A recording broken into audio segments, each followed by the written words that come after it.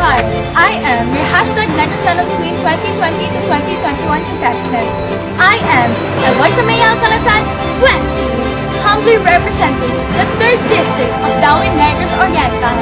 Due to social media exposure, our perspective on body image has been drastically influenced.